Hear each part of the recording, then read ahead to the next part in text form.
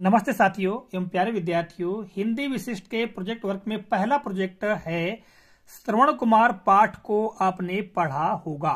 श्रवण कुमार ने अपने माता पिता की सेवा किया और जग में प्रसिद्ध हो गए। आप किस तरह से अपने माता पिता की सेवा करते हैं या उनके कामों में सहयोग करते हैं, उनकी सूची बनाइए। तो ये पहला प्रोजेक्ट है जो कि श्रवण कुमार पाठ पर ही आधारित है। तो इसे कैसे हल करना है, उदाहरण स्वरूप यहाँ समझाया गया है। आप इस तरह से प्रोजेक्ट तैयार कर सकते हैं कोई दूसरा अन्य प्रोजेक्ट भी ले सकते हैं। तो प्रोजेक्ट का विवरण क्या है? कि हम अपने माता पिता की सेवा उनकी प्रत्येक आज्ञा का पालन करते हुए करते हैं और उनके प्रतिदिन के कामों में जो का, में सहयोग करते हैं उनकी सूची यहाँ दी गई है। तो ये उदाहरण स्वरूप सूची है। तो पहला जो कार्य है वो ये है कि माता पिता और दादाजी के प्रति दिवस चरण छूना अर्थात उनसे आशीर्वाद प्राप्त करना। दूसरा है, पीने के लिए पानी लाना। जब कभी दादाजी माता पिता पानी मंगाते तो उनको पानी लाकर देना, यानी पानी पिलाना। तीसरा है, पशुओं को चारा डालना। निश्चित तौर से हमारे विद्यार्थियों के पास में पालतू पशु, जैसे गाय, बकरी, बैल इत्यादि हो सकते तो उनको चारा खिलाना यह भी काम बच्चों के द्वारा किया जाता है। चौथा है, नाश्ता लेकर खेत जाना। हमारे बहुत सारे बच्चों के माता पिता कृषक हैं और खेत पर कार्य करते हैं तो कई बार खेत पर ही भोजन लेने की, भोजन लेकर जाने की या नाश्ता लेकर जाने की आवश्यकता होती है तो यह काम भी बच्चे करते हैं। पांचवा है घर पर झाड़ू लगाना। घर के कामों में मदद करते हैं, सहयोग करते हैं, जैसे झाड़ू लगाना इत्यादि, है ना? इस तरह से छठवा है दुकान से सामान खरीद कर लाना। घर पर कई तरह की सामग्री की आवश्यकता होती है और उस सामग्री की पूर्ति के लिए दुकान से सामान खरीद कर भी लाने का कार्य किया जाता है। अगला है, दादाजी को दवाइयाँ देना। जब घर में बूढ़े बुज़ुर्ग होते हैं तो उनको कई बार दवाइयों की आवश्यकता होती है तो उनको दवाई निकाल कर देना, दवाई खिलाना इत्यादि भी कार्य किया जाता है। आठवां है, दादाजी एवं माता पिताजी के पैर दबाना। तो बहुत सारे विद्यार्थी अपने माता पिता दादा दादी के पैर भी दबाते हैं। तो ये जो कार्य है, विद्यार्थियों के द्वारा किए जाते हैं। तो इस तरह से जो भी विद्यार्थी जिस तरह से भी अपने माता पिता की सेवा करता होगा, उनका, उनकी आज्ञा का पालन करता होगा तो उसका विवरण जो है इस तरह से लिख लेना है।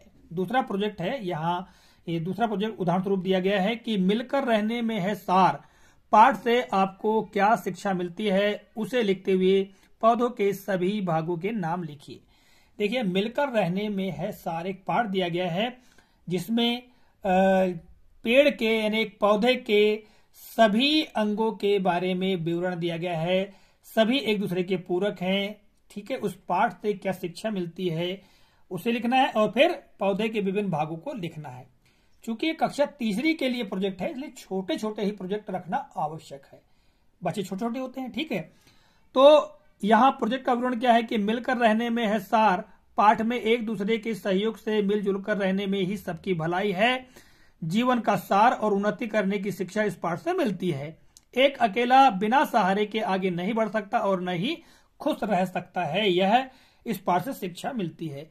पौधे के विभिन्न भाग में जड़, तना, डालियाँ, पत्तियाँ, फूल और फल। तो ये विद्यार्थी लिख सकते हैं।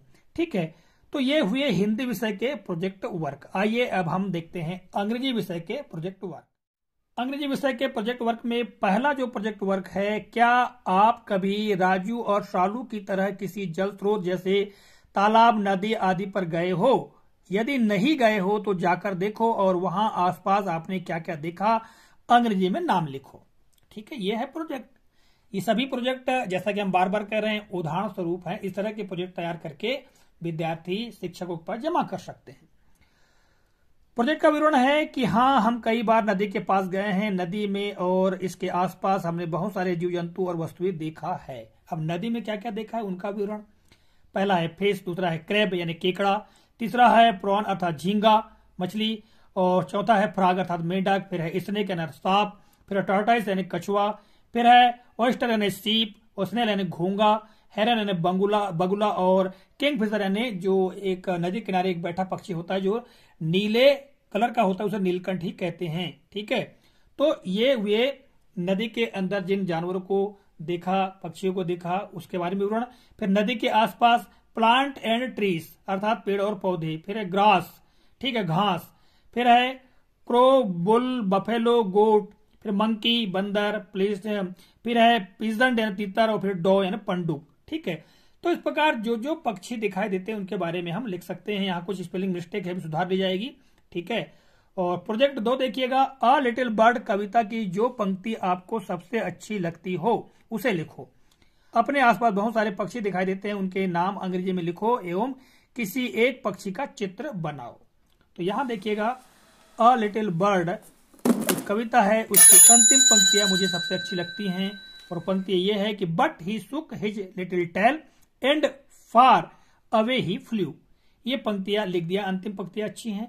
फिर पक्षियों के नाम अंग्रेज़ी में तो यहाँ देखिएगा हेरन बगुला kingfisher, Neelkanth, pigeon, peacock, parrot, sparrow woodpecker owl, crow, kite, eagle, swan, bat, duck, cock या हैन और कुक्कू। इस प्रकार पक्षियों के नाम विद्यार्थी लिख सकते हैं, ठीक है? और चित्र की बात तो किसी एक पक्षी का चित्र भी प्रोजेक्ट में बना सकते हैं क्योंकि यहाँ बनाकर नहीं बताया गया है, ठीक है? तो ये हुए तुम्हारे अंग्रेज़ी के प्रोजेक्ट। आइए, अब हम गणित विषय के प्रोजेक्ट भी देख लेते हैं। तो यहाँ पर आप देख रहे हैं गणित विषय के हल किए गए प्रोजेक्ट। पहला प्रोजेक्ट है, आपके घर की रसोई का निरीक्षण करो और देखो कौन सी वस्तुएँ लंबी और कौन सी वस्तुएँ छोटी हैं। ऐसी पाँच पाँच वस्तुओं की सूची बनाइए जो लंबी और छोटी हैं, हो, तथा उनके चित्र भी बनाओ। उदाहरण दिया गया यहाँ पर, लंबी वस्तु और छोटी वस्तु, जैसे बेलन और गिलास। तो प्रोजेक्ट का विवरण क्या है कि लंबी वस्तु और छोटी वस्तु? देखो, सब्ज़ी की चम्मच, ठीक है, ये लंबी वस्तु है तो छोटी वस्तु है कप। चिमटा, लंबी वस्तु, कटोरी, छोटी वस्तु। चावल का डिब्बा, लंबी वस्तु, नमक की डिब्बी, छोटी वस्तु।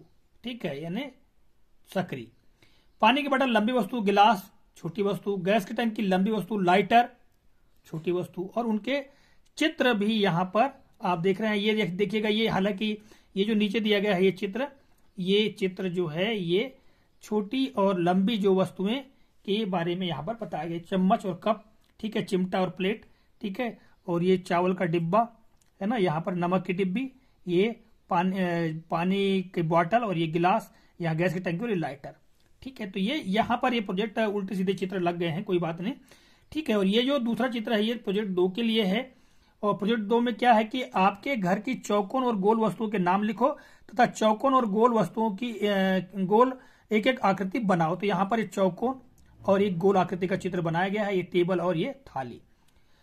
तो प्रोजेक्ट का विवरण क्या है कि चौकोन वस्तुएँ, दरवाज़ा, खिड़की, table, kitchen platform tray, carton सूपा थैला, पीढ़ा, टीवी, पुस्तक फ़ोटो सीनरी दीवान, पलंग, खटिया, अलमारी, कमरा।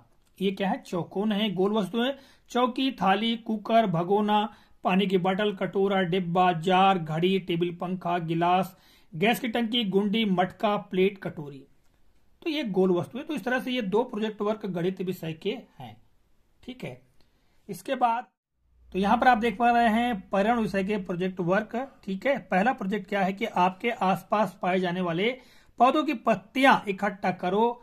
और उन्हें सेलो टेप की सहायता से चिपका कर नीचे उसका नाम लिखो। यह है प्रोजेक्ट तो इसका विश्लेषण क्या होगा कि विद्यार्थीगण अपने आसपास के पेड़ पौधे जैसे आम, जामुन, गुलाब, मोंगरा, गुड़हल, नीम सीताफल इमली, पालक, नींबू, मिर्च, महुआ आदि की पत्तियाँ इकट्ठा करें और उन्हें सेलोटेप के माध्यम चिपकाए। या केवल चित्र में दिखाया गया है उदाहरण स्वरूप उनको चिपका सकते हैं विद्यार्थी। दूसरा प्रोजेक्ट है, आपके घर में कितने कमरे हैं और वे कौन कौन से कार्यों हेतु उपयोग में लाए जाते हैं, उनका उपयोग के बारे में लिखो। यह प्रोजेक्ट का विश्लेषण क्या है कि हमारे घर में कुल सात कक्ष है, जिसका विश्लेषण इस प्रकार है। बरामदा। तो बरामदा कौन से काम में आता है? गाड़ियाँ, अन्य सामग्री रखने के लिए। बैठक कक्ष, बैठने हेतु। फिर शयन कक्ष, विश्राम करने या सोने के लिए। पूजा घर, भगवान की पूजा या आरती करने के लिए। रसोई घर, भोजन पकाने के लिए। सामग्री रखने का कक्ष, सामान रखने के लिए। गौशाला कक्ष, पशुओं को बांधने के लिए। तो इस तरह से ये घर के कमरों के बारे में विवरण दिया जा सकता है। तीसरा प्रोजेक्ट भी यहाँ पर दिया गया है। ये सभी प्रोजेक्ट उदाहरण स्वरूप है। हमारे आसपास कई तरह के पक्षी दिखाई देते हैं। उन पक्षियों के नाम एवं रंग कैसा है लिखो। यदि आपको पक्षियों के पंख मिल जाएँ तो उन्हें अपने प्रोजेक्ट में चिपकाओ। तो पक्षियों के नाम और उनके रंग यहाँ पर दिए गए हैं। नीलकंठ नीला कबूतर, सफ़ेद काला भूरा चितकबरा, गौरैया भूरा मुर्गा लाल, काला, सफ़ेद कौआ काला, कोयल काला, ठीक है? मोर, सतरंगी, तितर बटेर भूरा, बुलबुल, कत्थई या भूरा, तोता, हरा, बदक सफ़ेद, चील काला, बाज भूरा, बगुला सफ़ेद टेहरी भूरा काला, उल्लू भूरा और गिद्ध काला। तो इस तरह से ये हैं पक्षियों और उन, पक्षियों के नाम और उनके रंग, फिर उनके पंखों का कलेक्शन करके चिपका कर विद्यार्थी प्रोजेक्ट तैयार कर सकते हैं। यहाँ केवल चित्र दिखाए गए हैं। चौथा प्रोजेक्ट भी यहाँ दिया गया है। आपके ग्राम या शहर की पोस्ट ऑफ़िस जाकर पता लगाओ कि पत्र लिखने के लिए कितने प्रकार के पत्र आते हैं, साथ ही उनकी कीमत भी लिखो। इनके फ़ोटो काट कर चिपकाओ, ठीक है? तो यहाँ पर देखिएगा प्रोजेक्ट का विश्लेषण। पोस्ट कार्ड एक रुपए का आता है वर्तमान में, अंतर्देशीय पत्र दो रुपए, पचास पैसे यानी ढाई रुपए का, और लिफाफा पाँच रुपए का। इनकी कीमत कम ज़्यादा भी हो सकती है। इनके फ़ोटो काट कर इस प्रकार चिपकाए जा सकते हैं। यह है लिफाफा, यह है पोस्ट कार्ड और यह है अंतर्देशीय पत्र। पांचवा प्रोजेक्ट भी यहाँ दिया गया है। दैनिक जीवन में आप लोगों को कई तरह के काम करते हुए देखते होंगे। कामों की सूची बनाकर उनके उनको करने वालों को क्या कहा जाता है, लिखिए। बड़ा ही महत्वपूर्ण प्रोजेक्ट है। ठीक है, और सरल भी है। तो प्रोजेक्ट का विशेषण यह है कि हमारे आसपास कई तरह के लोग विभिन्न प्रकार के कामों को करते हैं, जैसे इलाज करना। उसको क्या कहते हैं डॉक्टर पढ़ाना, शिक्षक, औज़ार बनाना, लोहार फर्नीचर बनाना बढ़ई, घर बनाना मिस्त्री या राजमिस्त्री, गहने बनाना सुनार, मिट्टी के घड़े बनाना कुम्हार, पशु चराना चरवाहा, कृषि करना किसान, व्यापार करना व्यापारी, दुकान चलाना दुकानदार, कपड़े धोना धोबी, पशु पालना पशुपालक, मिट्टी खोदना मजदूर, वाहन चलाना चालक या ड्राइवर, पूजा पाठ करना पंडित, भीख मांगना भिकारी घास काटना घसियारा।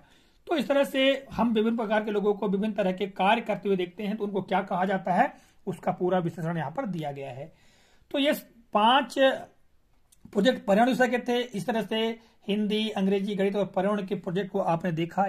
तो इन प्रोजेक्ट को आप कहाँ से प्राप्त करते हैं, इसके बारे में आपको जानकारी दे सकते साथियों, यह है हमारा डिक्शनरी ऐप, जैसा कि आप देख पा रहे हैं, ये डिक्शनरी ऐप। तो इसे आपको प्ले स्टोर से डाउनलोड कर लेना है और डाउनलोड कर लेने के पश्चात यहाँ पर आप देखिएगा ये कैटेगरी जो कि लेफ़्ट राइट इसको आप इसको कर सकते हैं। यहाँ पर पढ़िएगा कि हल प्रोजेक्ट पर्यावरण थर्ड यानी पर्यावरण के प्रोजेक्ट यहाँ आपको मिलेंगे। ओपन करके मैं आपको बता देता हूँ ये तो ये है। फिर ये हाल प्रोजेक्ट हिंदी, कक्षा चौथी का तो ये कक्षा चौथी के भी प्रोजेक्ट आप यहाँ पर देख सकते हैं। ठीक है, इस तरह से आगे देखेंगे, ये प्रोजेक्ट सूची, यानी सभी विषय के प्रोजेक्ट की पाँच पाँच प्रोजेक्ट की सूची यहाँ पर दी गई है। ठीक है, आप इनको देख सकते हैं। आगे आप देखेंगे तो कक्षा चौथी के प्रोजेक्ट की सूची यहाँ पर देखिएगा पूरे कक्षा चौथी के प्रोजेक्ट की सूची दी गई है। ठीक है, इस तरह से आगे हाल प्रोजेक्ट हिंदी का तो हिंदी के प्रोजेक्ट आपको देखने को मिल जाएगा यहाँ पर। इस तरह से आगे देखेंगे, हल प्रोजेक्ट अंग्रेज़ी थर्ड तो ये अंग्रेज़ी के प्रोजेक्ट तीसरी के। फिर यहाँ पर देखेंगे तो गणित का प्रोजेक्ट हल किया हुआ। तो सभी प्रोजेक्ट आपको यहाँ पर इस कैटेगरी के माध्यम से मिल जाएँगे तो आपको डाउनलोड करना होगा प्ले स्टोर से, पवारी डिक्शनरी, ठीक है? तो इस तरह से आज की इस वीडियो में हमने आपको प्रोजेक्ट वर्क के बारे में जानकारी दी। आशा करते हैं इस तरह से आप आसानी से आप प्रोजेक्ट तैयार कर पाएँगे। तो मिलेंगे अगले काठखंड में, तब तक के लिए जय हिंद।